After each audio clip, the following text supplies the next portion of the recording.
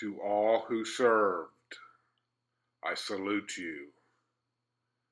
To those that gave all, I salute you with the utmost respect.